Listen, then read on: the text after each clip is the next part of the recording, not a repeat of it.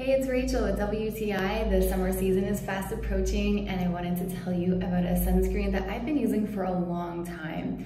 This is kind of my go-to sunscreen. It's the Banana Boat Sport and it is 50 plus SPF. Now, I think the reason that I just keep going back to this one is that it's water resistant and sweat proof. So if I'm doing an activity and I do put it on my face, uh, it's not gonna irritate my eyes and I never notice that it will run into my eyes and start burning my eyes. I also like that it doesn't feel greasy. It's really easy to spread and it just works really well. You'll notice here.